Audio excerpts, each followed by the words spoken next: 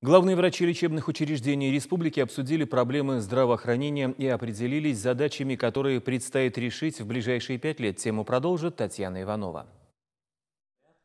Подводя итоги минувшего года, министр здравоохранения республики сделал акцент на важнейших целевых показателях смертности. За 2019 год на 2,5% снизилась летальность от сердечно-сосудистых заболеваний. Почти на 5% от болезней органов дыхания. Ожидаемая продолжительность жизни перешагнула порог в 73 года. Но 2020 год внес свои коррективы. Нынешний год с учетом пандемии не позволяет нам добиться значительного снижения показателей.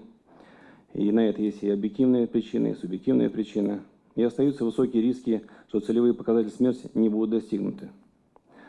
Особенно негативная динамика демографических процессов наблюдается в сельской местности. Возрастает как требования, так и нагрузка на медицинский персонал, что приводит к низкой эффективности и, в частности, своевременное выявление заболеваний и факторов риска, их обусловливающих. Результат – это позднее выявление заболеваний и рост смертности населения. На коллегии была представлена комплексная программа социально-экономического развития республики. С 2021 года здравоохранение получит федеральные средства – более 5 миллиардов рублей на модернизацию первичного звена. Это новые поликлиники в ряде городов, ФАПы, ремонт более 300 медицинских объектов, закупка почти 2000 единиц медоборудования. Наша задача с вами обеспечить, чтобы каждый человек, независимо где проживает на территории Чувашской республики, смог получить медицинскую помощь сполна э, в, в кратчайшие сроки. Будет продолжена цифровизация отрасли. В каждый сельский медпункт придет интернет, чтобы внедрять телемедицинские технологии.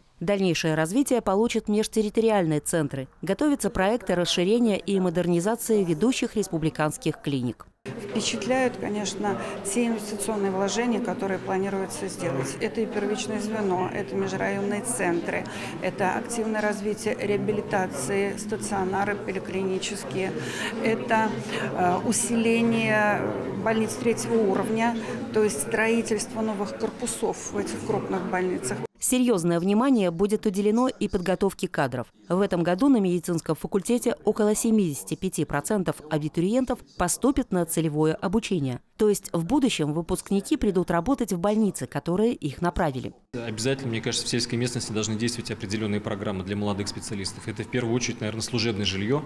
А, это есть отдельный пункт в нашей комплексной программе. Самое главное, а, вот, э, вот эта идея пятилетнего планирования, конечно же, это благо. То есть мы смотрим на 5 лет вперед, а по большому счету заглядываем и дальше в будущее, и на 10 лет. Потому что, конечно же, построенные корпуса, построенные поликлиники, они будут э, э, проектироваться, исходя из э, современных реалий, с заделом на будущее. Главным итогом реализации программы должен стать рост ожидаемой продолжительности жизни в Чувашии до 78 лет широкое внедрение реабилитационных технологий во всех сферах здравоохранения, улучшение качества и доступности медицинской помощи. Татьяна Иванова, Вадим Владимиров, Вести Чебоксары.